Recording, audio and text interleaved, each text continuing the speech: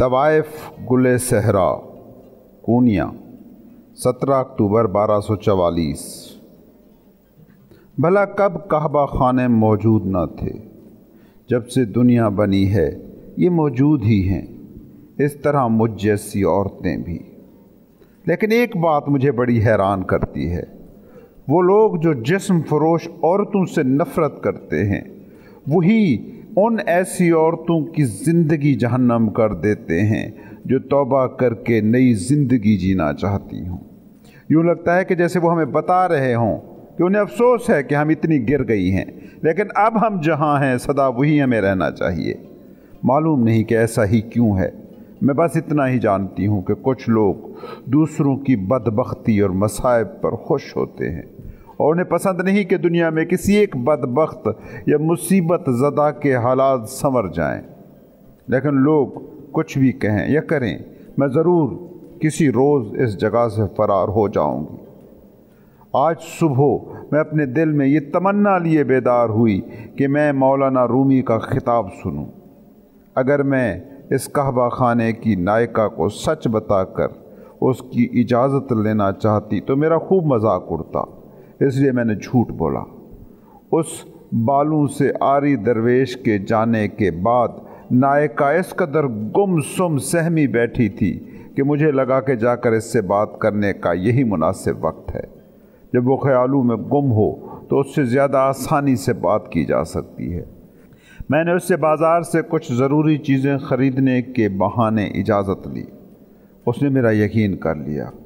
किसी कुत्ते की तरह नौ बरस से उसके लिए काम करने के बाद अब वो मेरा इतना एतबार कर ही लेती थी। अलबत् एक शर्त है, वो बोली सिम सिम तुम्हारे साथ जाएगा। ये ऐसा कोई मसला नहीं था। सिम सिम मुझे पसंद था। जिस्मानी तौर पर सेहतमंद, मगर दिमागी तौर पर वो एक बच्चा था, जो काबिल भरोसा और सादगी की हद तक ईमानदार था। वो इस शफाक दुनिया में कैसे ज़िंदा रह गया, ये बात मेरे लिए एक मम्मा ही थी। किसी को उसका असल नाम मालूम नहीं था, शायद खुद उसको भी नहीं। उसे तिल का हलवा बेहद पसंद था, इसीलिए हमने उसे ये नाम दिया था। जब भी काबा खाने की किसी तवायफ़ को बाहर जाना होता तो उसके साथ किसी खामोश साय की मानद जाता। वह ऐसा बेहतरीन मुहाफ़ था, जिसकी कभी आरज़ू की जा सकती है। हम दोनों बाग के दरमियान से बल खा कर गुजरती गर्द से अटी रह गुज़र पर रवाना हो गए। जब हम दोराहे पर पहुँचे तो मैंने सिमसिम को वहीं रुक कर इंतज़ार करने को कहा और ख़ुद एक झाड़ी के पीछे गायब हो गई, जहाँ मैंने मर्दाना लिबास वाला थैला छुपा रखा था। मर्दाना लिबास पहनना मेरी सोच से मुश्किल काम था। लंबे सरपोश को अपने सीने पर लपेट कर मैंने मर्दाना बहरूब भरा। फिर मैंने ढीला ढाला पजामा, बनियान और उसके ऊपर लंबा करमजी चुगा पहना और सर पर दस्तार बाँध ली। आखिर में अपना निसफ चेहरा मैंने एक नकाब से ढक दिया। इस उम्मीद में कि किसी अरब मुसाफिर जैसी ही दिखाई दूँ।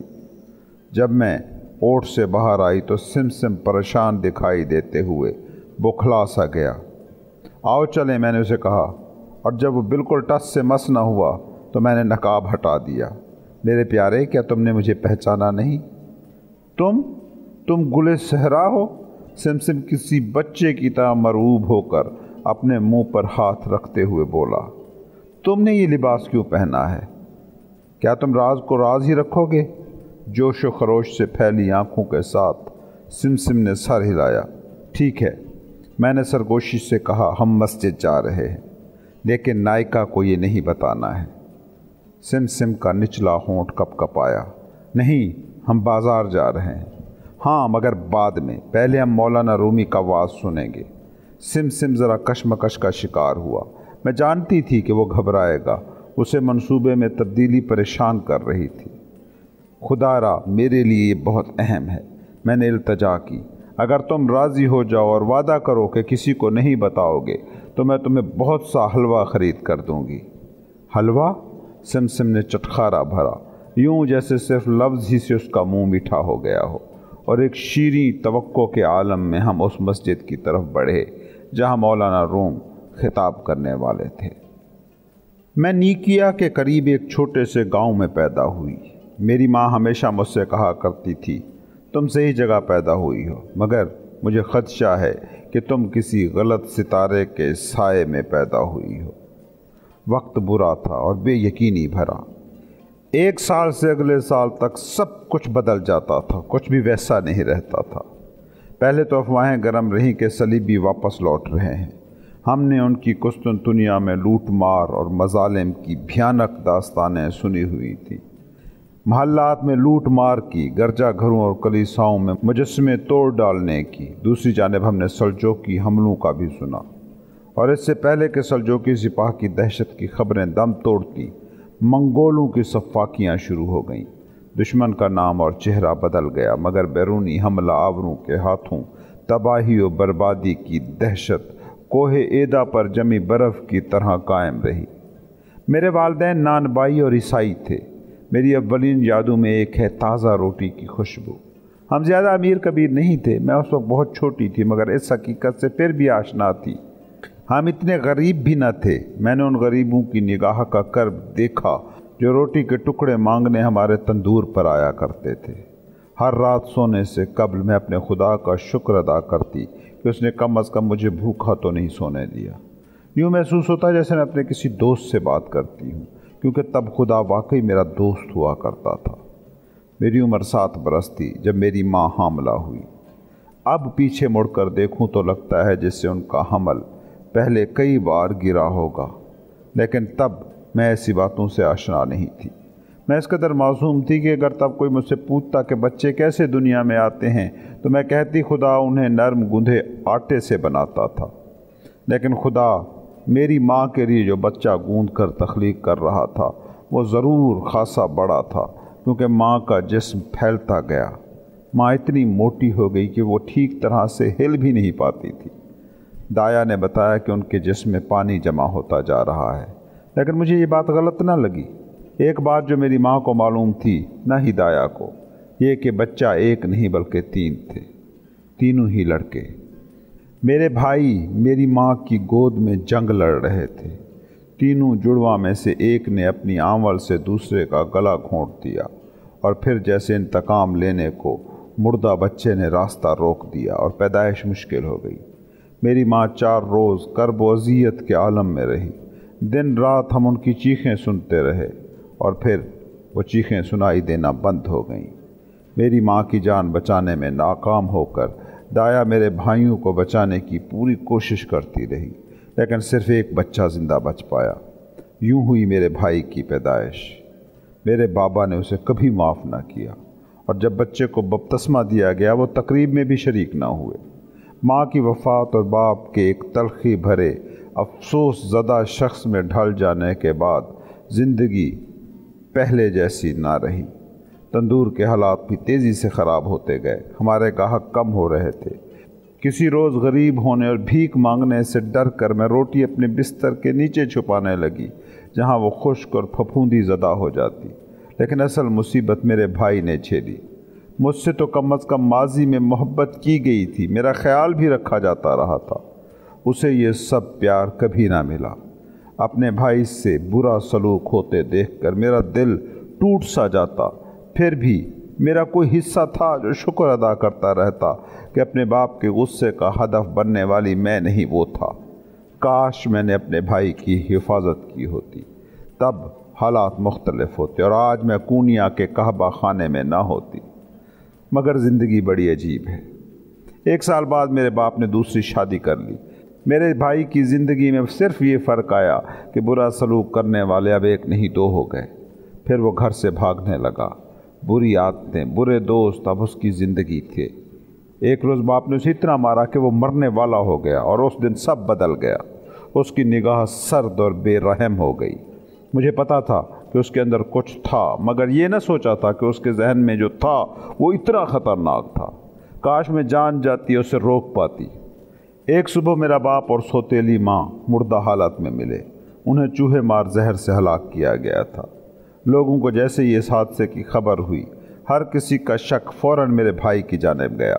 जब सिपाहियों ने सवालात पूछना शुरू किए तो वो घबरा कर भाग गया, और उसके बाद मैंने उसे दोबारा नहीं देखा। यूँ मैं इस दुनिया में तनहा रह गई। घर माँ की याद से भरा था और तंदूर सर्द पड़ा था। मैंने कुस्तुनतुनिया जाकर अपनी एक बूढ़ी गैर शादीशुदा खाला के पास रहने का फ़ैसला किया, जो अब दुनिया में मेरी वाहिद करीबी रिश्तेदार थी। तब मैं सिर्फ़ तेरह बरस की थी। कुस्तुनतुनिया जाने की खातिर एक घोड़ा गाड़ी पर सवार हुई, जिसमें मैं सबसे कम उम्र मुसाफिर थी और वाहिद जो तनहा सफ़र कर रही थी। चंद घंटों के सफ़र के बाद हमें डाकुओं के ग्रोह ने रोक लिया। उन्होंने मुसाफिरों से सब कुछ लूट लिया। संदूक, कपड़े, जूते, जेवरात, हत्या के गाड़ी बाँध का खाना भी लूट ले गए। मेरे पास उन्हें देने को कुछ भी नहीं था। मैं एक तरफ़ खामोशी से खड़ी रही। मुझे यकीन था कि वो मुझे कोई नुकसान नहीं पहुंचाएँगे। लेकिन जब वो जाने को ही थे कि यकायक उनका सरगना मेरी तरफ़ मुड़ा और पूछा, क्या तुम कंवारी हो है हसीना? मैं सुर्ख पड़ गई। और ऐसे नामुनासिब सवाल का जवाब देने से इनकार कर दिया। मुझे मालूम ही नहीं था कि मेरा सुर्ख पड़ना ही वो जवाब था जो वो चाहता था।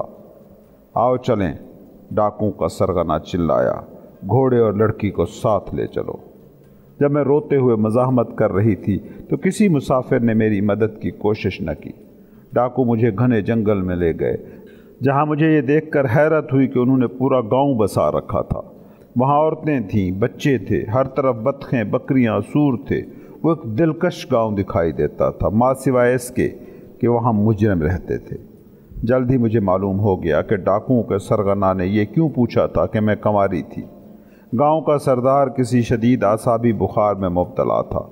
वो एक तवील अरसे से अलील था और उसके सारे जिस्म पर सुर्ख धब्बे नमूदार हो चुके थे। उसका बहुत इलाज किया गया मगर बेसूद हाल ही में किसी ने उसे कायल किया था कि अगर वो किसी कुंवारी लड़की से कुर्बत रखे तो उसकी बीमारी उस लड़की में मुंतकिल हो जाएगी और वो सेहत याब हो जाएगा। मेरी ज़िंदगी की कुछ भयानक यादें हैं, जिन्हें मैं कभी नहीं दोहराना चाहती। जंगल में गुजरे वो अयाम उन्हीं में से एक थे। हती कि आज भी मेरे जहन में जंगल का ख्याल आता है तो मैं सनोबर के दरख्तों का तस्वुर करती हूँ। मैं औरतों के साथ जंगल में उन दरख्तों तले बैठने को तरजीह दिया करती थी। बेशतर औरतें उन डाकुओं की बीवियाँ थीं या बेटियाँ। वहाँ पर कई तवायफ़ें भी थीं जो अपनी खुशी से आती थी। और ये बात मैं कभी समझ ना पाती कि वो भागती क्यों नहीं। मैं तो वहाँ से फ़रार के लिए बेताब थी। जंगल से अक्सर बग्घियाँ गुजरती, जिनमें से ज़्यादातर शुरफा की होती। और मेरे लिए बड़ी इसरार की बात थी कि उन्हें लूटा क्यों नहीं जाता था। फिर मुझे मालूम पड़ा कि उनके गाड़ी बाढ़ डाकुओं को रिश्वत देते थे, कि उन्हें वहाँ से बाहिफाजत गुजरने दिया जाए। एक बार सब कुछ जान लेने के बाद मैंने वहाँ से फ़रार की मनसूबाबंदी की। बड़े शहर की एक बग्घी को रोक कर मैंने उसके कोचवान से तजा की, मुझे साथ ले चलो। अगरचे वो जानता था मेरे पास कुछ नहीं था, फिर भी उसने एक बड़ी रकम का मुतालबा किया। मैंने मजबूरन अदायगी उसी एक तरीके से की जिससे मैं वाकिफ़ थी। कुस्तुनतुनिया पहुँचने के बाद ही मुझे समझ आ सकी कि जंगल में तवायफ़ें वहाँ से भागती क्यों नहीं थी। शहर बदतर था। शहर सफ़ाक और बेरहम था। मैंने अपनी बूढ़ी खाला को कभी तलाश न किया।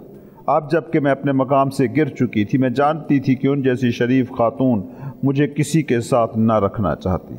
मैं तने तनहा थी।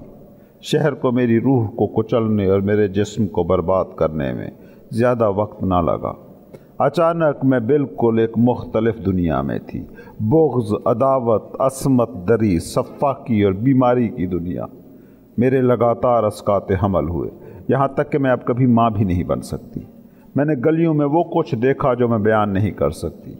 इस शहर को खैरबाद कहने के बाद मैंने सिपाहियों, अदाकारों और खाना बदोशों के साथ सफ़र किया। सबकी ज़रूरतें पूरी करते हुए। फिर गीदड़ सरनामी एक शख्स ने मुझे तलाश कर लिया और कूनिया के उस कहबा खाने में ले आया। नायका को इस बात से कोई दिलचस्पी न थी कि मैं कहाँ से आई थी। जब तक मेरी सूरत अच्छी है। और उसे ये जानकर भी खुशी थी कि मेरे अब बच्चे नहीं हो सकते। यूँ इस सिलसिले में भी उसे किसी मसले का सामना नहीं करना पड़ेगा। मेरे बांझपन की नस्बत से उसने मेरा नाम सहरा रख दिया। और इस नाम को किसी तौर पर सजाने को उसने इसमें गुल का इजाफा कर दिया, जो मुझे अच्छा लगा क्योंकि गुलाब मुझे पसंद थे। ईमान के बारे में भी मैं ऐसा ही सोचती हूँ। गुलाबों का कोई मख्फी बाग जहाँ मैं कभी घूमती, फिरती और उसकी खुशबू से महजूज होती थी, मगर अब वहाँ कदम भी नहीं रख सकती। मैं चाहती हूँ कि खुदा एक बार फिर मेरा दोस्त बन जाए। इसी आरज़ू के साथ मैं इस बाग का तवाफ़ करती हूँ, दाखिली दरवाज़े की जस्तजू में। ऐसे दर की तलाश में जो ख़ुद को मुझ पर वाह कर दे। जब सिम सिम और मैं मस्जिद पहुँचे तो मुझे अपनी आँखों पर यकीन नहीं हुआ। हर गोशे में हर उम्र और हर पेशे से ताल्लुक़ रखने वाले मर्द मौजूद थे। हती कि अकब में मौजूद जगह पर भी जो अमूमन औरतों के लिए मखसूस होती थी। मैं जगह की तलाश में हार मान कर बाहर निकलने को ही थी, जब मैंने एक फ़कीर को अपनी निशस्त छोड़कर बाहर निकलते देखा। अपनी खुशनसीबी का शुक्र अदा करते हुए मैं सिम सिम को बाहर ही छोड़कर उस जगह पर जा बैठी। यूँ मैंने खुद को मर्दों से भरी मस्जिद में मौलाना रूमी का खुतबा सुनते पाया। मैं ये सोचना भी नहीं चाहती थी कि अगर लोगों को मालूम हो जाता कि उनके दरमियान एक औरत मौजूद थी तो तब क्या होगा? कजा एक तवायफ, तमाम मनफी सोचों को भगा कर मैंने अपनी पूरी तवज्जो खुतबे पर मरकूज कर दी। रूमी कह रहे थे, खुदा ने मसाइब को तख्लीक किया ताकि उसके मतजाद खुशी उभर सके। चीज़ें अपने मतजाद के ज़रिए ही आया और आश्कार होती हैं, चूँकि खुदा का कोई मतजाद नहीं, इसलिए वो मख्फी रहता है। खिताब के दौरान मुबलक की आवाज़ बुलंद हुई और पिघलती बर्फ़ से भरती पहाड़ी नदी की तरह गंभीर होती चली गई। ज़मीन की पस्ती और आसमानों की रिफ़त पर नज़र करें। जान लें कि दुनिया की तमाम हालतें इसी तरह हैं। सैलाब और खुश्क साली अमन और जंग, कुछ भी हो, कभी फरामोश मत करें कि अल्लाह ने कभी भी रायगा कुछ तख्लीक नहीं किया, चाहे वो तैश हो या तहमुल ईमानदारी हो या मकरो फरेब। वहाँ बैठे मैंने जाना कि कुछ भी हिकमत के बग़ैर नहीं। मेरी माँ का हमल और उनकी कोख में जंग, मेरे भाई का नाकाबिल रफ़ा, अकेलापन हती कि मेरे बाप और सोतेली माँ का कत्ल, जंगल में मेरे भयानक अयाम और यहाँ तक कि वो सफ़ा की जो मैंने कुस्तुन दुनिया की गलियों में देखी, इन सबने अपने तौर पर मेरी ज़िंदगी की कहानी लिखी है। मैं इसे पूरी तरह बयान तो न कर सकती थी, मगर मैं इसे पूरे दिल से महसूस ज़रूर कर सकती थी। उस पहर खचा खच भरी मस्जिद में मौलाना रूमी का खुतबा सुनते हुए। खुद पर सकून और आश्ती का एक बादल साया फिगन होता महसूस हुआ। इतना ही पुरमसरत और सुकून बख्श, जैसे मेरी माँ के हाथ से पकती रोटियों का नज़ारा। हसन गदागर, कूनिया, सत्रह अक्टूबर बारह सौ चवालीस। एक अजीब से एहसास बेजारी, कोफ्त और झंझलाहट से जूझता मैं फिर मेपल के उसी दरख्त के नीचे जा बैठा, जहाँ तकरीर से पहले मैं भीख मांग रहा था। रूमी की मसायब पर जर्क बर्क तकरीर पर मुझे गुस्सा आ रहा था। एक ऐसा मौजू जिसके बारे में वो ज़्यादा जानता ही नहीं था, उस पर उन्हें ऐसे बोलने का हक नहीं। मीनार का साया गली में आगे बढ़ रहा था। तकरीबन ऊँगते हुए राहगीरों पर अपनी नेम बार नज़रें जमाए। मैं सोने ही वाला था, जब मुझे उस दरवेश की सूरत दिखाई दी। जिसे मैंने इस शहर में पहले कभी नहीं देखा था। काले चीथरू में लिपटा अपने हाथ में एक लंबा असाद थामे उसके चेहरे पर कोई बाल नहीं था और एक कान में चांदी की एक छोटी सी बाली थी। वो इस कदर मुख्तलिफ़ दिखाई दिया कि मैं खुद को उस पर नज़रें टिकाने से रोक ना सका। जब उसकी निगाहें इर्द गिर्द का जायज़ा ले रही थी, उसी वक्त दरवेश ने मुझे देख लिया। मेरी मौजूदगी को नज़रअंदाज करने की बजाय जैसा कि मुझे पहली बार देखने वाले लोग हमेशा करते हैं। उसने अपना दायां हाथ अपने दिल के मकाम पर रखा और मुझे यूँ सलाम किया जैसे हम दोनों कोई पुराने दोस्त हों। मैं हक्का बक्का इधर उधर देखने लगा कि वो कहीं किसी दूसरे को तो सलाम नहीं कर रहा, लेकिन वहाँ सिर्फ़ मैं था, या फिर मेपल का वो दरख्त। अगरचे मैं बदहवास और उलझन में था, मैंने अपना हाथ दिल के मकाम पर रखा और सलाम का जवाब दिया। दरवेश आहिस्ता आहिस्ता मेरी जानेब बढ़ा। मैंने अपनी निगाहें झुका ली। इस तो में कि अभी वो मेरे कशकोल में तांबे का सिक्का उछालेगा या फिर मुझे रोटी का टुकड़ा देगा, लेकिन इसकी बजाय वो मेरी निगाहों की सतह तक पहुँच गया। सलाम वालेकुम गदागर, उसने कहा। वालेकुम अस्सलाम दरवेश, मैंने जवाब दिया। मेरी आवाज़ मुझे अजीब और भर्राई हुई लगी। एक लंबा अरसा गुज़र चुका था जब से मुझे किसी से बात करने की ज़रूरत महसूस न हुई थी। मुझे तकरीबन भूल ही चुका था कि मेरी आवाज़ कैसी थी। उसने अपना नाम शमस तबरेज़ बताया और मेरा नाम पूछा। मैं हंस दिया, मुझ जैसे आदमी को किसी नाम की क्या ज़रूरत? हर किसी का कोई नाम होता है, उसने एतराज़ किया। खुदा के लातादाद नाम हैं, जिनमें से हम सिर्फ़ निन्यानवे नाम जानते हैं। अगर खुदा के इतने बहुत से नाम हैं तो कोई इंसान जो कि उस ज़ात बारी ताला का अक्स है, बेनाम कैसे हो सकता है? मुझे मालूम ना था कि इस बात का क्या जवाब दूँ, और यूँ मैंने जवाब देने की कोशिश भी ना की। उसकी बजाय मैंने तस्लीम किया। कभी मेरी एक बीवी और एक माँ थी, वो मुझे हसन कहते थे। हसन नाम है फिर, दरवेश ने सर हिलाया। फिर मुझे हैरानी हुई कि उसने मुझे एक नकरई आईना दिया। इसे रख लो, उसने कहा। यह बगदाद के एक नेक आदमी ने मुझे दिया था, लेकिन तुम्हें मुझसे ज़्यादा इसकी ज़रूरत है। ये तुम्हें याद दिलाएगा कि खुदा तुम्हारी रगे जहाँ से ज़्यादा करीब है। इससे पहले कि मुझे जवाब में कुछ कहने का मौका मिलता, पस मंज़र में हंगामा सा उठा। पहला ख्याल जो मुझे आया ये था कि मस्जिद में कोई जेब तराश पकड़ा गया। लेकिन जब चीखें बुलंद तर हो गईं और उनमें शिद्दत आती गई तो मैं समझ गया कि कोई बड़ी बात हुई थी। कोई जेब तराश इस कदर शोर गोगा ना करता। हमें जल्द ही मालूम हो गया एक औरत एक मशहूर तवायफ मस्जिद में मर्दाना हुलिये में पकड़ी गई थी। लोगों का एक ग्रोह उसे चिल्लाते हुए धुतकार कर बाहर निकाल रहा था। इस दगाबाज को दर्रे लगाओ, तवायफ को दर्रे लगाओ। इस हालत में मुश्तैल हजूम बाहर निकल आया। मुझे मर्दाना लिबास में मलबूस एक औरत की झलक दिखाई दी। उसके चेहरे पर मौत की सी जर्दी थी और उसकी बादामी आँखें दहशत ज़दा थी। मैंने पहले कई लोगों को घेर कर मारे जाते देखा था। मेरी इस बात पर हैरत कभी ख़त्म न हुई कि लोग हजूम में शामिल होकर कैसे ड्रामाई तौर पर बदल जाते थे। आम आदमी जो माजी में कभी शिद्दत पसंद न रहा हो, कारीगर, फेरी वाले या ठेले वाले, जब आपस में मिल जाते तो कत्ल करने की हद तक मुतशद हो जाते। हजूम के हाथों हलाकतें आम थीं और उनके आखिर में दूसरों को तंबीह के लिए, लाशों को नुमाइश के लिए छोड़ दिया जाता। बेचारी औरत, मैंने शमस तबरेज़ से आहिस्ता से कहा। लेकिन जब मैं जवाब के लिए उसकी तरफ़ मुड़ा तो वो वहाँ नहीं था। मुझे कमान से निकले आतशी तीर की तरह, हजूम की तरफ़ लपकते दरवेश की झलक दिखलाई दी। मैं उछल कर खड़ा हुआ और लपका। जब शमस तबरेज़ उस जलूस के सर पर पहुँचे तो उन्होंने अपना आशा किसी अलम की तरह बुलंद किया और पूरी ताकत से चिल्लाए, रुक जाओ।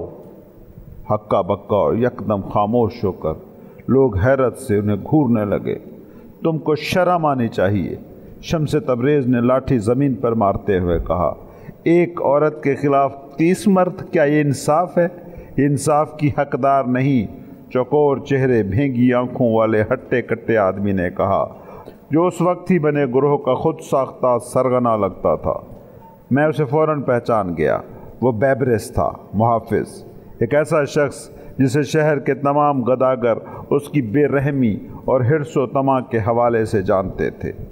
यह औरत इसने मर्दों का सा लिबास पहना और नेकोकार मुसलमानों को धोखा देने की खातिर मस्जिद में घुस आई।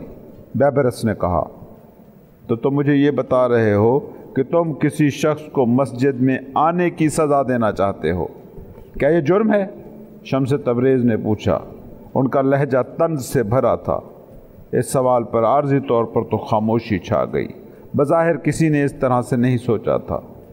मगर ये एक तवायफ़ है। एक और आदमी चिल्लाया, जो इस कदर मुश्तैल दिखाई देता था कि उसका चेहरा गहरे सुर्ख रंग का हो गया था। आओ इस तवायफ़ को सज़ा दें। यूँ जैसे ये कोई हुक्म था। एक लड़का छलांग लगाकर आगे बढ़ा और औरत की पगड़ी पकड़ियों से झटक कर पूरी कुवत से खींचने लगा। पगड़ी ढीली हुई और औरत के सूरजमुखी के से रंग के सुनहरी बाल दिल फरेब लहरों की सूरत खुल गए। उसकी जवानी और हुस्न पर दम बखुद हम सबने अपनी साँसें रोक लीं। शम्स तबरेज़ माहौल में मिले जुले एहसास को पहचान गए होंगे। क्योंकि एक लहजा भी ज़ाय किए बग़ैर उन्होंने लोगों को सरजनश की। तुम्हें फ़ैसला करना होगा भाइयों, तुम वाकई इस औरत से नफ़रत रखते हो या इसकी चाह रखते हो? ये कहते हुए दरवेश ने तवायफ़ का हाथ थामा और उसे उस नौजवान लड़के और हजीम से परे अपनी तरफ़ खींच लिया। वो उनके पीछे छुप गई, किसी नन्ही बच्ची की तरह जो अपनी माँ के लिबास के पीछे छुप रही हो। तुम बड़ी गलती कर रहे हो। गुरोह के सरगना ने अपनी आवाज़ हजूम की बुड़बुड़ाहट से बुलंद करते हुए कहा, तुम इस शहर में अजनबी हो और हमारे तौर तरीक़ों से वाकिफ़ नहीं हो। इस मामले से दूर रहो। एक दूसरे शख्स ने दखल दिया, तुम किस किस्म के दरवेश हो? किसी तवायफ़ के मफादात के दिफा से बेहतर तुम्हारे पास करने को कुछ नहीं? शमस तबरेज़ लम्हे भर को खामोश हुए, यूँ जैसे सवाल पर गौर कर रहे हों और फिर बिल्कुल पुरसकून रहते हुए, वो बोले लेकिन तुम्हारी इस पर तवज्जो कैसे गई? तुम मस्जिद जाते हो, मगर खुदा से ज़्यादा आसपास लोगों पर तवज्जो देते हो। अगर तुम अच्छे मुसलमान होते, जैसा कि तुम दावा कर रहे हो तो तुम्हारी तवज्जो इस औरत पर कभी ना जाती, चाहे ये बिल्कुल ही बरह ना होती। अब जाओ और वाज सुनो, और इस बार बेहतर तरीके से सुनना। पूरी गली पर एक बेढंगी सी खामोशी छा गई। अतराफ के राहगीरों के रास्ते पर पत्ते सरसर आए और लम्हे भर को हरकत में आने वाली शय सिर्फ़ वही पत्ते थे। चलो तुम सब भागो वापस, वाज सुनने जाओ। शमस तबरेज़ ने उन आदमियों को मक्खियों की तरह पड़े हटाने को अपनी लाठी घुमाई। लोग मुड़कर वापस तो ना गए, मगर उन्होंने चंद उल्टे कदम ज़रूर उठाए, डगमगाते हुए, यूँ जैसे उलझन में हों कि अब क्या करें? उनमें से चंद एक मस्जिद की सिमत देख रहे थे, जैसे वापस जाने का सोच रहे हों। एन उसी वक्त तवायफ ने दरवेश के पीछे से निकलने का हौसला जमा किया। किसी खरगोश, किसी फुर्ती से वो खड़ी हुई और करीब तरीन गली में से घुसने से पहले उसके लंबे बाल हर सिमत में उड़े जा रहे थे। सिर्फ़ दो लोगों ने उसका पीछा करने की कोशिश की, लेकिन शमस तबरेज़ ने उनका रास्ता रोक लिया और यूँ अचानक उनके पैरों में अपनी लाठी अटका दी और घुमाई कि वो उसमें उलझ कर गिर पड़े। कुछ राहगीर ये मंज़र देख कर हंस पड़े और मैं भी। खजालत ज़दा और हवास बाख्ता दोनों आदमी अपने पैरों पर दोबारा खड़े हुए, लेकिन तब तक तवायफ गायब हो चुकी थी और ये दरवेश भी जा रहा था। उसका यहाँ काम ख़त्म हो चुका था। सुलेमान मधोश कूनिया 17 अक्टूबर 1244 जब हंगामा बरपा हुआ तो इसके अरूज पर पहुँचने से पहले मैं मैं खाने की दीवार से टेक लगाया, आराम से ऊँघ रहा था। फिर अचानक बाहर से आते शोर गोगा में हर बढ़ा कर जाग गया। क्या हो रहा है? आँखें खुलते ही मैं चीखा, क्या हम पर मंगोलों ने हमला कर दिया? हँसी का फुआरा फूटा। मुड़ा तो मैंने कई गाहकों को अपना मज़ाक उड़ाते देखा। गलीज हरामी, तुम फ़िक्र मत करो बूढ़े शराबी, मैं खाने का मालिक हेरोस्टोस पुकार कर बोला। कोई मंगोल तुम्हारे ताकुब में नहीं है। अपने मद्दाहों की फौज के साथ मौलाना रूमी गुजरे हैं। मैं उठकर खिड़की तक गया और बाहर झांका। यकीनन वो वही थे। शागिर्द और मद्दाहों का एक पुरजोश जलूस मुतवाते नारे लगा रहा था। अल्लाह अकबर अल्लाह अकबर। उनके दरमियान सफ़ेद घोड़े की पुष्ट पर सवार, ताकत और एतमाद छलकाती सतवा शख्सियत मौलाना रूमी ही की थी। मैंने खिड़की खोल कर अपना सर बाहर निकाला, उन्हें देखा। किसी घूँगे किसी रफ्तार से हरकत करता जलूस करीब आ गया। दर हकीकत हजूम के कुछ लोग तो इतने करीब थे कि मैं बसानी उनके सरों को छू सकता था। अचानक मुझे ख्याल आया, मैं कुछ लोगों की पगड़ियाँ और दस्तारें झपटने वाला था। मैंने लकड़ी का कमर पर खारिज करने वाला डंडा उठाया, जो हेरस्टोस की मिल्कियत था। एक हाथ से खिड़की खोलकर और दूसरे हाथ में डंडा लिए मैं आगे को झुका और हजूम में एक शख्स की पगड़ी तक पहुँचने में कामयाब हो गया। मैं उसकी पगड़ी खींचने वाला ही था कि एक शख्स ने बेतवजही से ऊपर नज़र उठाई और मुझे देख लिया। सलाम अलैकुम। मैंने एक दूसरे कान तक फैली मुस्कुराहट के साथ सलाम किया। मैं खाने में, मुसलमान, तुम्हें शर्म आनी चाहिए, वो आदमी गरजा। क्या तुम जानते नहीं कि शराब शैतान के हाथों बनती है? मैंने जवाब देने के लिए अपना मुँह खोला, मगर इससे पहले कि मैं कोई आवाज़ निकालता, मेरे सर के पास से शू से कोई तेज़ चीज़ गुजरी। मुझे दहशत से अदराक हुआ कि वो पत्थर था। अगर मैं आखिरी लम्हे ज़रा झुक नहीं गया होता तो वो मेरी खोपड़ी फाड़ चुका होता। उसकी बजाय वो खुली खिड़की से गुजर कर मेरे पीछे बैठे ईरानी ताजर की मेज़ पर गिरा। ताजर नशे में इस कदर बदमस्त था कि समझ ही ना पाया कि हुआ क्या। उसने पत्थर अपने हाथ में लिया और उसका यूँ जायज़ा लेने लगा जैसे वो आसमानों से भेजा गया कोई मुबहम पैगाम हो। सलेमान, खिड़की बंद करो, अपनी मेज़ पर वापस आ जाओ। हेरस्टोस ने धाड़ कर कहा, उसकी आवाज़ मारे तशवीश के भर्राई हुई थी। तुमने देखा भी क्या हुआ? अपनी मेज़ की तरफ़ लड़खड़ाते हुए मैंने कहा, किसी ने मेरी तरफ़ पत्थर उछाला है। वो मेरी जान ले सकता था। हेरस्टोस ने भवें उचकाई। मुझे अफसोस है, मगर क्या तो कर रहे थे?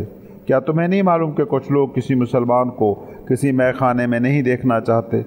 और तुम यहाँ अपने मुँह में शराब की बू लिए और किसी सुर्ख लालटेन की तरह चमकती अपनी नाक के साथ अपनी नुमाइश कर रहे हो तो क्या हुआ? मैं हकलाया। क्या मैं इंसान नहीं? हरस्ट्रोस ने मेरे शाने पर थपकी दी। जैसे कहता हो, इतने जज्बाती मत हो।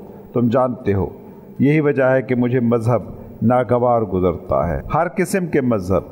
मजहबी लोग इस कदर पर अतमाद होते हैं कि खुदा उनकी तरफ़ है कि वो सोचते हैं कि वो हर किसी से बर्तन है। मैंने कहा हरस्टोस ने मगर कोई जवाब ना दिया। वो मजहबी था, लेकिन मैं खाने का तजर्बाकार मालिक भी था, जो जानता था कि किसी बरहम और खफा गाहक को कैसे ठंडा या पुरसकून रखना है। वो मेरे लिए रेड वाइन की एक और सुराही लाया और मुझे चढ़ाते हुए देखता रहा। बाहर खिड़कियों को ज़ोर से बजाती और खुश्क पत्तों को दाएँ बाएँ बखेरती हुई तेज़ हवा चलने लगी। लम्हे भर को हम साकेत खड़े रह गए। गौर से सुनते हुए यूँ जैसे सुनने को कोई धुन थी। मुझे नहीं मालूम था कि इस दुनिया में शराब ममनू क्यों की गई है, लेकिन जन्नत में इसे देने का वादा किया गया है। मैंने कहा, अगर ये इतनी बुरी है जितना लोग दावा करते हैं तो इसे जन्नत में क्यों पेश किया जाएगा? सवालात सवालात, हरस्टोस अपने हाथ झटकते हुए बड़बड़ाया, तुम हमेशा सवालों से भरे रहते हो। क्या तुम्हें हर शय के बारे में सवाल करने होते हैं? यकीनन मैं करता हूँ। हमें जहन इसीलिए बख्शा गया था, क्या तुम्हारा ये ख्याल नहीं? सुलेमान, मैं तुम्हें एक अरसे से जानता हूँ। तुम तो मेरे लिए कोई गाहक नहीं, बल्कि तुम मेरे दोस्त हो और मुझे तुम्हारी फ़िक्र होती है। मैं ठीक रहूँगा, मैंने कहा, मगर हेरस्ट्रोस ने मेरी बात काट दी।